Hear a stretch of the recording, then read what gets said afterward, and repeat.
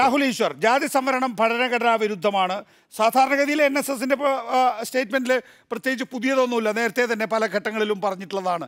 നോക്കൂ ഈ ഒരു ആവശ്യത്തെ എങ്ങനെയാണ് അതിജീവിക്കാനാവുക എൻ എസ് എസ് പോലുള്ള സംഘടനകൾക്ക്?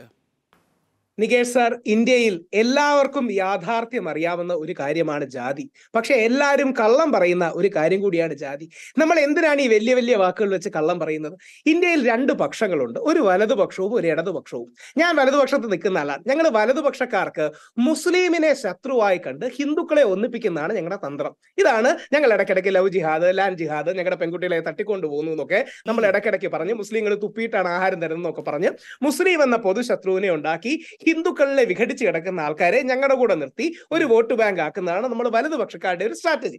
ഇതേപോലെ നമ്മുടെ ലെഫ്റ്റ് ലിബറൽസിന്റെ സ്ട്രാറ്റജി പ്രത്യേകിച്ച് ബി ജെ പി ഹിന്ദു ഐക്യം വളരെ ശക്തമായിട്ട് ഉണ്ടാക്കിയത് കൊണ്ട് ഹിന്ദുക്കളെ പരമാവധി വിഘടിപ്പിക്കുക ജാതിയുടെ പേരിൽ വോട്ട് ചെയ്യിക്കുക അങ്ങനെ ജാതിയുടെ പേരിൽ വോട്ട് ചെയ്യിച്ചാൽ കോൺഗ്രസിനാണ് ജയിക്കാൻ സാധ്യത കൂടുതൽ ബി ജെ പിയുടെ വോട്ട് ബാങ്ക് ഇല്ലാതാവും.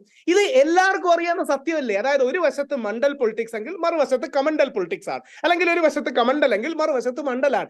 ഇതിന്റെ മേളിലൂടെ നമ്മൾ ഇടുന്ന ഭരണഘടനാപരമായ ജനങ്ങളുടെ ജീവിതത്തിന്റെ ഔന്നത്യം ഉണ്ടാക്കാനുള്ള ഈ തെള്ളൊക്കെ ബാക്കിയുള്ളവർ വിശ്വസിക്കുമായിരിക്കും. പക്ഷെ നമുക്കൊരു ആത്മാർത്ഥതയില്ലേ ഈ തെള്ളുമ്പോൾ ഇതെല്ലാം കള്ളമാണ് അവിടെ ശ്രീ മനസ്സിലാക്കാൻ രാഹുൽ ഈശ്വർ സത്യസന്ധനായതിൽ കുറച്ച് നന്ദി രേഖപ്പെടുത്തി നന്ദി രേഖപ്പെടുത്തി ഞാൻ മുന്നോട്ട് പോവാം. ആദ്യഘട്ടത്തിൽ താങ്കൾ പറഞ്ഞ വലതുപക്ഷത്തിന്റെ രാഷ്ട്രീയം ശരിയാണ്. എന്താണ്? ഈ ലവ് ജിഹാദ് അങ്ങനെയുള്ള തട്ടിപ്പ് തരികിട പരിപാടികളൊക്കെ തന്നെയും.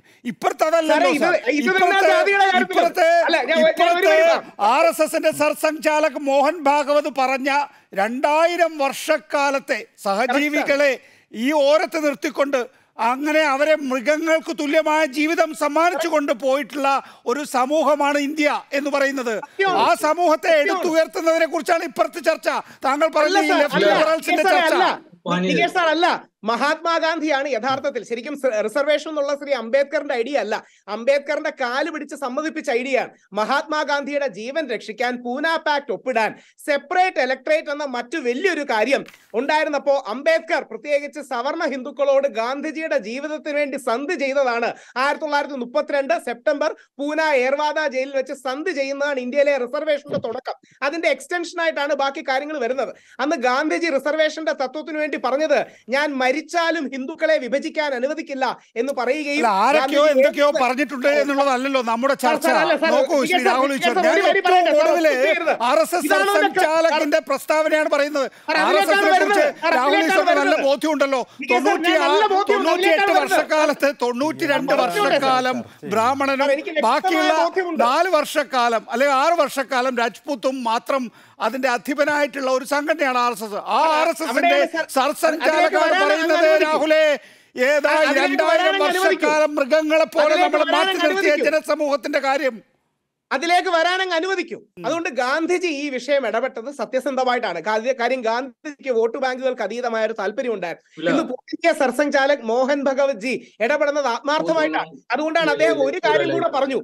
ഞങ്ങൾ പശുവിന്റെ ഇറച്ചി വരെ തിന്നാൻ തയ്യാറാണ് ഹിന്ദു ഐക്യത്തിന് വേണ്ടി. അദ്ദേഹം ഒരു സംഭവം വിവരിച്ചു. ഈ സ്പീച്ചിൽ തന്നെ കഴിച്ചില്ല. പക്ഷെ ആർ എസ് എസ്സുകാർ ഒരു പിന്നോക്ക വിഭാഗത്തിന്റെ സ്വയം സേവകർ പോയപ്പോ അവർ പശുവിന്റെ ഇറച്ചിയാണെന്ന് പറഞ്ഞ് കഴിച്ചു. ഇനിയും കഴിച്ചില്ലെങ്കിൽ പിന്നോക്ക വിഭാഗങ്ങൾക്ക് അവരോട് ഉച്ചനീതത്വം കാണിക്കുകയാണോ എന്ന് കരുതി സ്വയം സേവകർ പശുവിന്റെ ഇറച്ചി കഴിക്കാൻ തയ്യാറായി. അപ്പോൾ അവർ പറഞ്ഞു ഇത് ഗോമാതാവിന്റെ ഇറച്ചിയല്ല. ഞങ്ങൾ വെറുതെ നിങ്ങളെ ടെസ്റ്റ് ചെയ്യാൻ പറഞ്ഞതാണ്. അതുകൊണ്ട് ഇനി നാൽപ്പത്തിരണ്ട് തലമുറകൾ പശുവിന്റെ ഇറച്ചി കഴിച്ച് ഞങ്ങൾക്ക് പാപം വന്നാലും ഹിന്ദു ഐക്യത്തിന് വേണ്ടി ഒരുമിച്ച് നിൽക്കണമെന്ന് പറയുന്ന സർസംഘാലകിന്റെ ഗാന്ധിയൻ നിലപാടാണ് അഭിനന്ദിക്കേണ്ടതാണ്. പക്ഷേ കക്ഷി ഹിന്ദു ഐക്യം എന്താ, പറഞ്ഞു തീർത്തോടെ സാർ. ബാക്കി സമയം തരൂ. ഇതാണ് ഇതിന്റെ പോളിസി യഥാർത്ഥത്തിൽ ഇന്ത്യയിലെ ഇടതുപക്ഷത്തിന് ഇപ്പൊ എന്താ വേണ്ടത്? നരേന്ദ്രമോദി എന്ന് പറയുന്ന ഒരു ഹിന്ദു ഹൃദയ സാമ്രാട്ട് വളർന്നു വരികയും അദ്ദേഹം ഒരു വിശ്വപൗരനായി മാറുകയും വിശ്വ നേതാവായി മാറുകയും ചെയ്തു.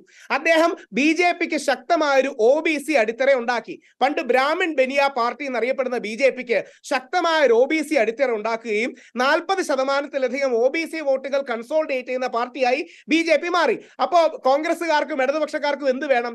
ഈ ഹിന്ദു വോട്ട് ബാങ്കിൽ വിള്ളൽ ഉണ്ടാക്കണം. കർണാടകത്തിൽ ലിംഗായത്ത് വോട്ട് ബാങ്കിൽ സ്പ്ലിറ്റ് ഉണ്ടാക്കിയതുപോലെ അല്ലെങ്കിൽ വൊക്കലിക വോട്ട് ബാങ്കിൽ സ്പ്ലിറ്റ് ഉണ്ടാക്കിയതുപോലെ ഈ വോട്ട് ബാങ്കിൽ സ്പ്ലിറ്റ് ഉണ്ടാക്കിയാലേ ഇടതുപക്ഷക്കാർക്ക് അല്ല അവർ മുന്നോട്ട് വൈദിക